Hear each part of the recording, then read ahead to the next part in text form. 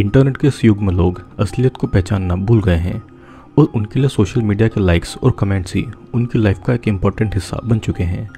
और इसे पाने के लिए लोग किस हद तक जा सकते हैं ये आपको आज की इस कहानी में पता चलेगा। वार्निंग वेलकम टू हॉरलैंड अगर आप पहली बार इस चैनल पर आए हैं तो चैनल को सब्सक्राइब करके ज़रूर जाना। मूवी की शुरुआत में एक अंधेरे घर में एक औरत को टेबल पर बाँध कर रखा गया था और हैमर लेकर एक मास्क पहने आदमी उसके पास में आता है। और उसे बेरहमी से मार डालता है। लेकिन वहाँ पे एक और आदमी था, जो कि दीवार के होल से ये सब कुछ देख रहा था। अब अगले दिन दूसरे टाउन में एलिसा नाम की एक लड़की दिखाई देती है और एलिसा को बार बार बहुत ज़्यादा उल्टियाँ हो रही थी। उसकी माँ उसे फ़ोन पर हॉस्पिटल जाने की सलाह देती है और एलिसा अपनी माँ को यू बोलकर फ़ोन काट देती है। कुछ समय बीतता है और वहाँ पर फेब्रिजियो, सोफिया, मार्क और रिकार्डो आते हैं। एलिशा उनकी गाड़ी में बैठ जाती है और वो सब अपनी अपनी मंजिल पर जाने वाले थे। रिकार्डो डॉक्टर था, जो कि अपनी एक पेशेंट को देखने जाने वाला था। और मार्क और सोफिया यहाँ पर कपल थे और फेब्रिजियो उनका ड्राइवर था। जल्दी ही एलिसा उनकी दोस्त बन जाती है और वे लोग एक सुनसान रास्ते में आगे बढ़ रहे थे। एलिसा रास्ते के बोर्ड्स पर एक अजीब सा काला निशान देखती है, पर बाकी इस बात पर गौर नहीं करते हैं। और रास्ते में एलिसा को फिर से उल्टियाँ शुरू होने लग गई थी। इसलिए कार रोककर एलिसा बाहर चली जाती है।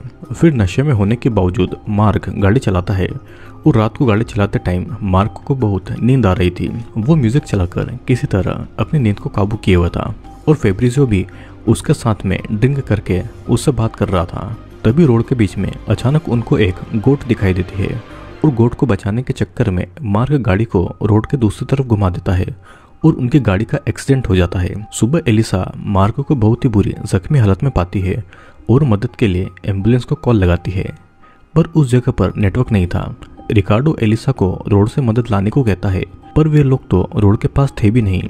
सभी लोग शॉक्ड होकर गाड़ी के बाहर देखने आते हैं, और उनकी गाड़ी एक खुले मैदान में थी, और पास ही में एक घर भी था। सभी उस घर में मदद मांगने जाते हैं, और सोफिया उस घर में आवाज़ भी लगाती है, लेकिन कोई भी घर के बाहर नहीं आता है, और तब सब लोग फिर से गाड़ी में चले जाते हैं। मार्क इस बात से पैनिक कर रहा था कि सभी रास्ता भटक चुके हैं और फेब्रिजियो और रिकार्डो जंगल की तरफ़ रास्ता ढूँढने जाते हैं। रास्ते में फेब्रिजियो रिकार्डो से उसकी लाइफ के बारे में पूछता है, लेकिन रिकार्डो उसे कोई जवाब नहीं देता है। तभी उनको एक अजीब सी चीज़ नज़र आती है और जंगल के बीच में कुछ डेड बॉडीज को अजीब तरीके से लटकाया गया था। उन्हें देखकर ऐसा लग रहा था कि वो जगह ब्लैक मैजिक के लिए यूज़ की गई हो, और ये सब देखकर वे वहाँ से चले जाते हैं। इधर एलिसा उसी घर में फिर से घुसती है और घर के अंदर अजीब अजीब चीज़ें रखी हुई थी और उसे कुछ आवाज़ें भी सुनाई देती है। एक जगह पर बहुत सारे कैंडल्स और कुछ पेंटिंग्स के सामने जलाकर रखा गया था। बाकी सब भी घर के अंदर आकर ये सब देख लेते हैं और सभी लोग डिसाइड करते हैं कि मार्क को इस घर के पास में लाकर वे लोग रात यहीं पर गुजारेंगे। रात को फेब्रिजियो जब बाहर जाता है, उसे कुछ मास्क पहने हुए लोग उसी की तरफ़ देखते हुए नज़र आते हैं और इधर रिकार्डो को घर की तरफ़ से अजीब अजीब आवाज़ें सुनाई देती है। सोफिया और एलिसा भी घर के अंदर देखने के लिए चले जाते हैं। फेब्रिजियो रिकार्डो को आकर उन मास्क मैन के बारे में बताता है और दोनों फिर से उसी घर के अंदर जाते हैं। घर के एटिक में सभी को एक बच्ची नज़र आती है और उसी समय वहाँ पर एक तेज आवाज़ भी गूंजती है।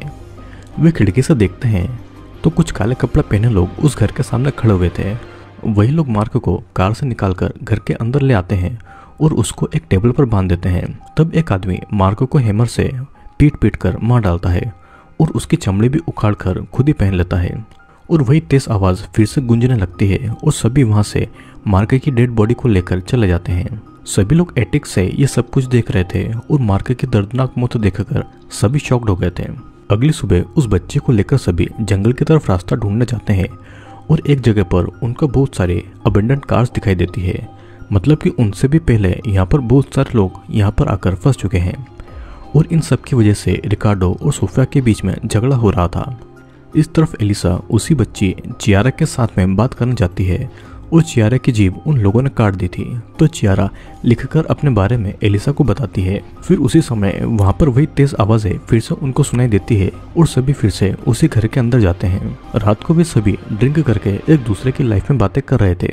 सभी कुछ देर के लिए ही सही, लेकिन अपना टेंशन भूल जाते हैं और वहीं पर सो जाते हैं। और सोफिया यहाँ पर मार्क को बहुत मिस कर रही थी। अब आधी रात को फिर से वही तेज आवाज़ सुनाई देती है और एलिसा उठकर बाहर देखने जाती है। और जो वो देखती है, उसे देखकर वो बहुत ही शॉक्ड हो गई थी। उन्हीं सब मास्क पहने लोगों ने सोफिया और रिकार्डो को एक पोल से बाँध कर रखा हुआ था और फेब्रिजो एलिसा को घर के अंदर ले आता है। वे सभी लोग एक रिचुअल करने लगते हैं और रिकार्डो और सोफिया को बड़ी बेरहमी से मारने काटने लगते हैं। घर के अंदर से एलिसा ये सब कुछ देख रही थी, पर वो कुछ नहीं कह पाती है। और यहाँ पर हम समझ पाते हैं कि उन सबको इस जगह पर लाने वाला और कोई नहीं, बल्कि फेब्रिजो ही है। फेब्रिजो एलिसा को हक करता है, और तभी एलिसा सुन पाती है कि फेब्रिजो के ईयरफोन पर कोई ये कह रहा है कि एलिसा को लिविंग रूम में लेकर आओ। एलिसा भी यही बात सुन लेती है, और फेब्रिजो से पूछती है कि उसके साथ ये कौन बातें कर रहा है। पकड़े जाने पर फेब्रिजो गुस्सा हो जाता है और कहता है कि एलिसा इस तरह सब कुछ बिगाड़ देगी और उसी समय कोई आकर एलिसा को घर के बाहर ले जाता है। अब अगली सुबह एलिसा को एक डाइनिंग टेबल पर बिठाया जाता है, जहाँ पर बहुत सारे लोग पहले से ही बैठे हुए थे। वो सभी वहाँ पर खाना खाने लगते हैं। ये सब देखकर एलिसा रो रही थी और एक आदमी एलिसा को कंफर्ट करता है और फिर वो आदमी एक कार में बैठकर वहाँ से निकल जाता है।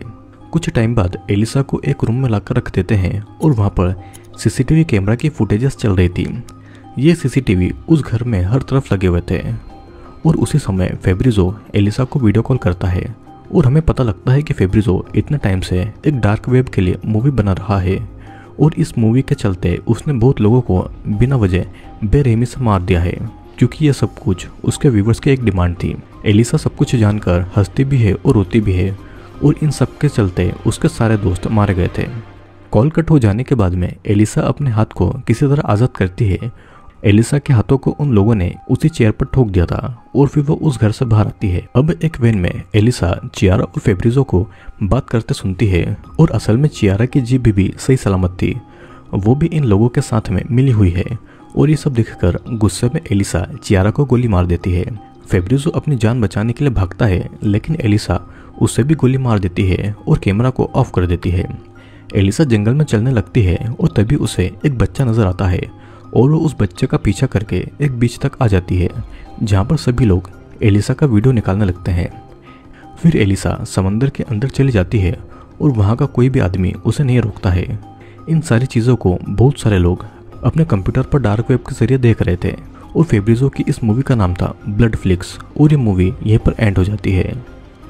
दोस्तों फेब्रिजो और बाकी सब लोग डार्क वेब पर फ़िल्म बनाने का काम करते थे। डार्क वेब पर लोगों की डिमांड थी कि बेकसूर लोगों को मार काट कर उनको टॉर्चर करके उनकी फ़िल्म बनाई जाए। लाइक, व्यूज़ और पैसों के चक्कर में फेब्रिजो ड्राइवर बनकर लोगों को फंसाता और उस अनजान जगह पर लाकर उनको मार काट कर डार्क वेब पर उनकी फ़िल्म बनाता।